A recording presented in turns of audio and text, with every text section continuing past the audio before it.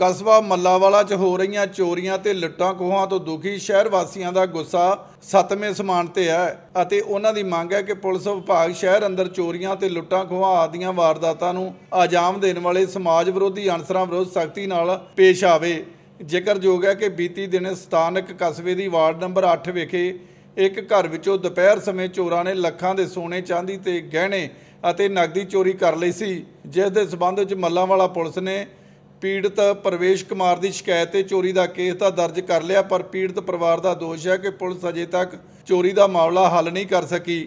ਜਿਸ ਦੇ ਰੋਸ ਵਜੋਂ ਅੱਜ ਪੀੜਤ ਪਰਿਵਾਰ ਅਤੇ ਸ਼ਹਿਰ ਵਾਸੀਆਂ ਨੇ ਚੇਤਾਵਨੀ ਦਿੰਦਿਆਂ ਕਿਹਾ ਕਿ ਜੇਕਰ ਪੁਲਿਸ ਪ੍ਰਸ਼ਾਸਨ ਵੱਲੋਂ ਇਹਨਾਂ ਚੋਰਾਂ ਨੂੰ ਨਾ ਫੜਿਆ ਗਿਆ ਤਾਂ ਸ਼ਹਿਰ ਵਾਸੀਆਂ ਵੱਲੋਂ ਮੱਲਾਂ ਵਾਲਾ ਬੰਦ ਦਾ ਸੱਦਾ ਦਿੰਦੇ ਹੋਏ ਆਉਣ ਵਾਲੇ ਦਿਨਾਂ ਵਿੱਚ ਦੁਕਾਨਾਂ, ਬਾਜ਼ਾਰ ਆਦ ਬੰਦ ਕਰਕੇ ਪੁਲਿਸ ਵਿਭਾਗ ਖਿਲਾਫ ਰੋਸ ਪ੍ਰਦਰਸ਼ਨ ਕੀਤਾ ਜਾਵੇਗਾ।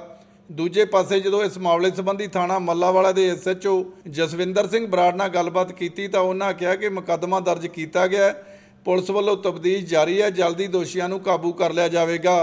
ਮੱਲਾਵਾਲਾ ਤੋਂ ਅੱਜ ਦੀ ਵਾਇਲੀ ਗੁਰਦੇਵ ਸਿੰਘ ਗਿੱਲ ਦੀ ਰਿਪੋਰਟ।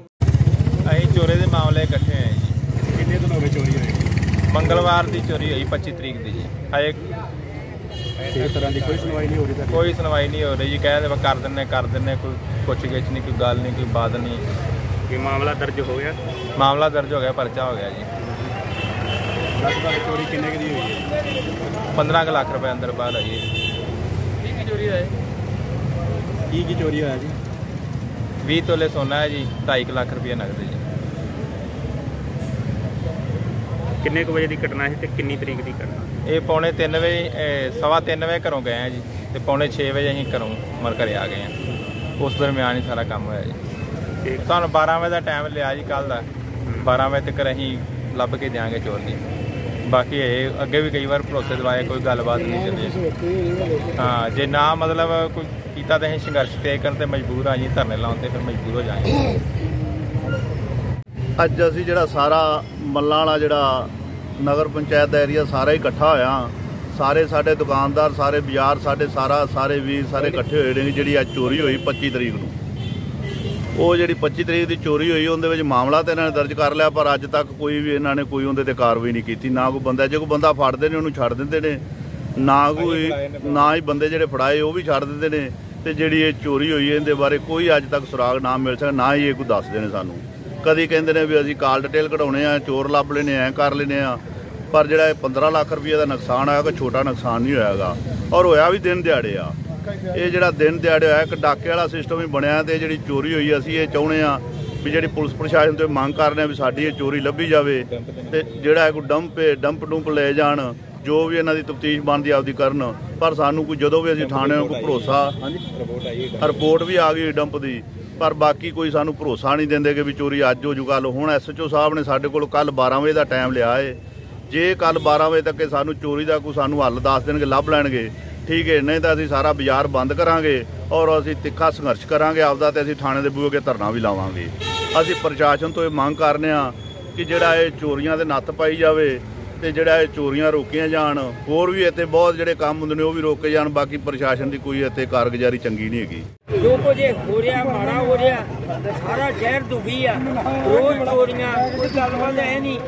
ਇਹ ਜਾ ਕੇ ਕਿਸੇ ਨੂੰ ਕਹੀਦਾ ਪੁਲਿਸ ਅਫਸਰ ਨੂੰ ਤੇ ਉਹ ਕਹਿੰਦਾ ਹੋ ਜੂ ਜੀ, ਹੋ ਜੂ ਜੀ, ਹੋ ਪਤਾ ਨਹੀਂ ਕਹੂ ਕਦੋਂ।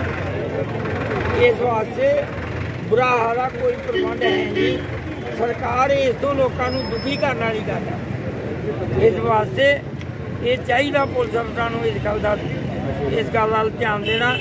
ਨਸ਼ੇ ਕਹਿੰਦੇ ਘੱਟ ਕਰਨੇ, ਉਹ ਕਈ ਗੁਣਾ ਵੱਧ ਗਏ। ਹਾਂਜੀ, ਹੁਣ ਕਮਾਈ ਸਾਰੀ ਇਹਦੀ ਖਾਈ ਜਾਂਦੇ ਆ। ਜਿਹੜਾ ਜੇ ਕਿਸੇ ਨੂੰ ਫੜਦੇ ਉਹਨੂੰ ਛੱਡ ਦਿੰਦੇ ਆ। ਦੇ ਬਾਰੇ ਕੀ ਤੁਹਾਡਾ ਕਹਿਣਾ ਹੈ? ਕੀ ਹਾਲੇ ਤੱਕ ਕੀਤਾ ਹੁੰਦੇ ਤੁਸੀਂ? ਉਹਦੇ ਵਿੱਚ ਸਾਡੀ ਅਸੀਂ ਜਿਹੜੀ ਤਫਤੀਸ਼ ਆ ਚੋਰੀ ਹੋਈ ਆ ਉਹਦੇ ਸੰਬੰਧੀ ਅਸੀਂ ਐਫ ਆਈ ਆਰ ਦਰਜ ਕਰਤੀ ਆ। ਉਹਦੀ ਜਿਹੜੀ ਤਫਤੀਸ਼ ਆ ਉਹ ਜਾਰੀ ਆ। ਕਾਫੀ ਸਾਨੂੰ ਜਿਹੜੇ ਉਹਦੇ ਕਲੂ ਮਿਲੇ ਉਹਦੇ ਨਾਲ ਤੇ ਅਸੀਂ ਕੰਮ ਕਰ ਰਹੇ ਹਾਂ। ਉਹ ਹੈ ਤਫਤੀਸ਼ ਦਾ ਹਿੱਸਾ ਹਜੇ ਤੁਹਾਡੇ ਨਾਲ ਸਾਂਝੇ ਨਹੀਂ ਕੀਤੇ ਜਾਣਗੇ। ਬਸ ਅਸੀਂ ਜਸਟ ਹੀ ਅਸੀਂ ਉਹ ਚੋਰੀ ਟਰੇਸ ਕਰ ਲਾਂਗੇ ਇੱਕ ਅੱਧੇ ਦਿਨ ਦੇ ਵਿੱਚ। ਉਮੀਦ ਆ ਵੀ ਅਸੀਂ ਉਹ ਜਿਹੜੇ ਹੈਗਾ ਉਹਨਾਂ ਤੱਕ ਪਹੁੰਚ ਜਾਵਾਂਗੇ। ਸਾਰੇ ਤੇ ਕੋਈ ਅਰੈਸਟ ਵੀ ਹੋਈ ਹੈ ਹਾਲੇ ਤੱਕ? ਨਹੀਂ ਹਜੇ ਰੈਸਟ ਨਹੀਂ ਹਜੇ ਤਾਂ ਇਹੀ ਤਫਤੀਸ਼ ਹੀ ਕਰ ਰਹੇ ਹਾਂ ਹਜੇ ਰੈਸਟ ਨਹੀਂ। ਹਜੇ ਅਸੀਂ ਅਜੇ ਡੰਪ ਵੀ ਚੁੱਕ ਲਿਆ। ਤੇ ਡੌਗ ਸਪੌਟ ਵਾਲੇ ਵੀ ਬੁਲਾਏ ਸੀਗੇ ਸਾਰਾ ਇੱਥੇ ਤਫਤੀਸ਼ ਕਰ ਰਹੇ ਹਾਂ।